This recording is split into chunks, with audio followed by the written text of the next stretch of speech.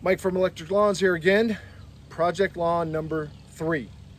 How's it to turn out? Stay tuned. You're to find out.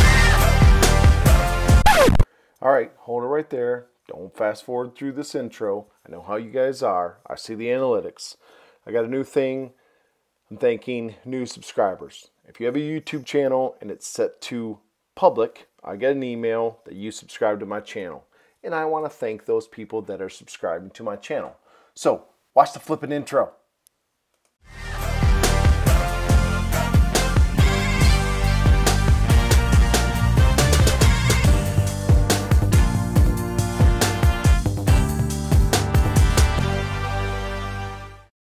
Threw you guys for a little bit of a loop with that new intro dealio, thinking new subscribers thingy. Something I want to do. I actually got the idea from Big Sun's Lawn Care. So shout out to Big Sun's Lawn Care. By the way, Big Sun, I'm waiting to see electric lawns on that whiteboard of yours because I subscribed. So uh, it's a great idea. I saw it, I took it from them, and that's what this is about. This community of YouTube and lawn care and everything, uh, learning from each other. So I learned from Big Suns that hey, I would like to do that. I would like to thank my subscribers because without you guys, I'm just talking to myself, and that's kind of weird. I'll do it. I'll talk to myself. Still kind of weird, but you know. All right, now I just talked through the whole pre-job inspection walkthrough. Um, hopefully you guys watched it while I was talking. So I'm going to keep on talking a little bit more. We're going to get going here into some uh, edging, which is not my favorite part, if you guys must know. And for a on the fly review of, okay, you guys know I love my Ryobi tools. A review of the Ryobi Edger. Uh, I'm going to be blunt. It sucks. now, right there with the the iDeck uh, power rotary scissors, oh, that's flipping awesome. But the Ryobi Edger sucks. I do not like using it at all. That's why you see right here, I'm using the iDeck. Uh, I, I'll use it when it's really overgrown and I can't define the edge and I know the blade's going to be hitting the concrete quite a bit because then I don't care much about that blade. I do care about those power rotary scissors. I don't want them hitting the concrete that much. They can. I just don't want them hitting that much. So, that was on the fly review. Uh, that edger attachment for the Ryobi trimmer sucks. Don't get it. I think it's a waste of money. I guess if your edge is you know really good and it's defined every single week, it's okay. We'll go with that part. It's okay. Hope you guys don't mind the voiceover again. Compared to my last project lawns that I did, you guys don't seem to mind because that video is doing very well and continues to trend upward. Uh, it is still getting quite a lot of views and keeps going. It keeps growing the channel. So I thank you for that. And hopefully you don't mind hearing me talk about this.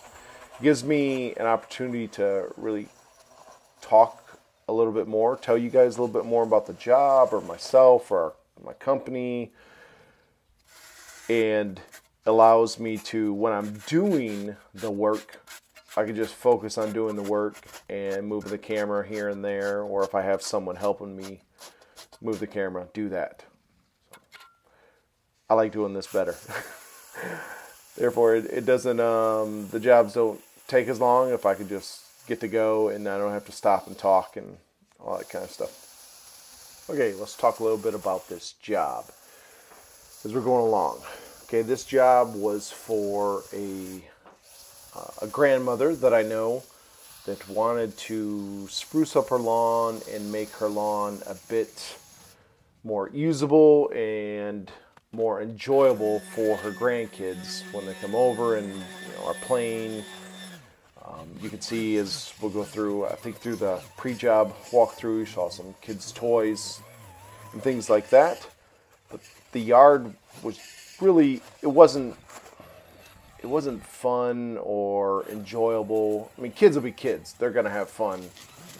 kind of almost regardless. But if they have a yard that they can, you know, roll around in the grass and stuff like that, it gets more enjoyable. And the lawn was not that at all. So I know this uh, this woman, um, she needed some help. She wanted to, she didn't know where to start.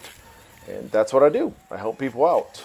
Um, and I like to you know, show them, okay, do a do a makeover, but I also show them along the way of how you can take care of your lawn where it's not so time consuming, it's not expensive, and you can still have a nice lawn, enjoyable lawn, a plush, thick, good green. Uh, now this one has a way to go, but I think at the end of everything, the lawn looks better.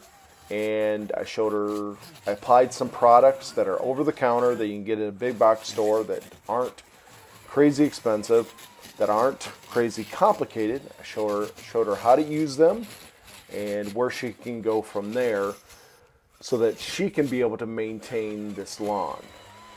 Now, as of editing this video, I think I'm probably three, maybe close to four weeks past this. Uh, I've done a couple checks on the lawn. Lawn's looking much better. It's the weeds are just about completely gone. Um, applying some insecticide, to get rid of ants and grubs and things like that. Um, showed her how to do that, what she needs to buy. Different that you can go to Ace Hardware, Home Depot, and different places like that, and not have to be confused by all the chemicals and everything. They just make those those um, those containers that go on the end of your hose, your garden hose, make it so easy. So that's what I'm doing here is you can see the minivan in the background. I did a shorts uh, of that, a sh- shorts, a YouTube shorts. Uh, minivan lawn care. That's my wife's. that's my wife's minivan in the background there. Uh, that's how I got all the equipment here to to do this, to do this job, to do this makeover. But we did the edging. Now we're doing the trimming, um, and I'm going to be coming out with a video that is about using your string trimmer. So I've come to realize that that is a part that people struggle with when doing lawn care and they don't get the the full pop of a good looking lawn because they don't do all the little finer touches of trimming and edging. Watch out! Coming right here. Yeah, that was the end of that line right there, that, that, that trimming line. We're doing the blowing, getting rid of all that crap that we just edged and trimmed, get it off there, blow it back into the lawn so that when we do mow it, uh, it'll either get you know, ground, ground up, mulched up, or bagged, whatever we're doing for that lawn. Because each lawn's different things, whether you're going to bag it, mulch it, side discharge, different types of things, different stages of the lawn of what product you have applied will call for different things. If you've applied some weed killer, usually your next three to four mows should be either mulched or side discharged. I, I don't like side discharge. I prefer mulch. Mulch it down. But right here, we're blowing off all the debris, getting it away from uh, the house, uh, getting away from the trailer, so that when we do come through with the mower, we don't leave all that dead grass on the edges and so that it can sit there and die and kill other grass. You want to get that out. That's that's what that blowing around around those edges there, uh, blowing around the tree, those trees. I know there's not a lot of grass there anyways, but still, it's the way you do it. Gotta blow those leaves. Those are a bunch of stuck leaves in the ground that I end up blowing. You know, getting them unstuck from there so we can get them sucked up and get them out of there so we can get new growth going, new grass growing.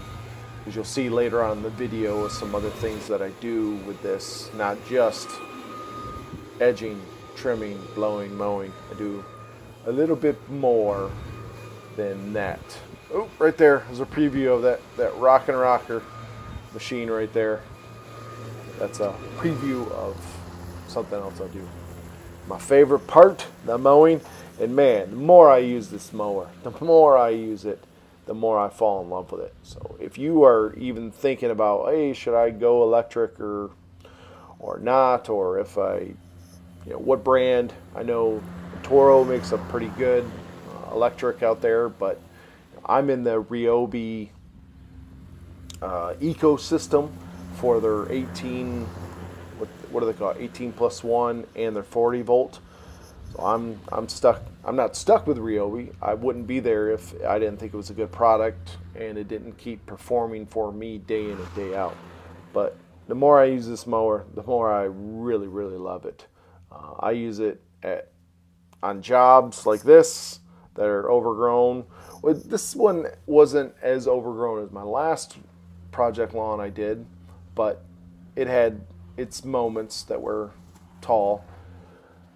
But this mower just continues to perform over and over and over.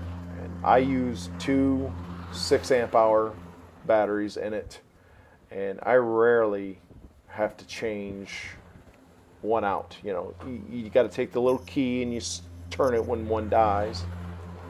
But I rarely have to swap out to another put another 6 amp hour battery in there. Um, I have multiples, I can, which is not a problem because you have another one on a charger, you take it off, put on charger. So never at a point where, oh, I'm out of batteries. It's never the case. So getting the mowing done there in a, a decent pattern. Oh, here we go. Time for the dirty, dusty dethatching. This had a lot, this lawn had a lot of thatch. You can see that. And I'm only going to go over this lawn one time um, because I was here many, many hours doing this lawn. so, and while you see that it's corded, it is electric, it is not cordless. I'll be doing a review on it sometime and why I don't have a Ryobi one, but I flipping hate that cord. I hate that cord. uh, I wish I had a cordless one, but that's for another video. Okay, we're gonna do some overseeding here with a sun and shade mix. As you can see, I'm gonna be applying some uh, some weed killer and some some some weed and feed. Um, I forgot my big spreader at home. I don't recommend doing a job this size, which was about 4,500 square feet. I don't recommend, you can do it, but I don't recommend overseeding with a little handheld spreader. You need to have a walk behind. It was a pain in the butt and got too much seed in some areas and maybe not enough in others, but oh well. The big one's going to be I will be returning in the fall and doing a full renovation, overseeding, uh, doing some leveling, doing some more dethatching and helping this lawn out. But you can see already just from the mowing, from the edging, the trimming, the mowing, how much better this lawn looks. Uh, we thinned it out and now we can give it some new growth. We're applying some weed killer, some weed and feed. So we're going to killing off some weeds and we're going to be feeding the new grass, the grass that's there and the grass that we put down. So here's before and afters. Hopefully you guys enjoyed this. Hopefully you enjoyed me talking. I didn't realize I just talked for almost 15 minutes on this video. But if you enjoyed it, please like, subscribe, tell all your buddies, and come back for a next one. I'm going to continue putting out hopefully good content. Hopefully you enjoyed this. If not, well, go find another channel, I guess.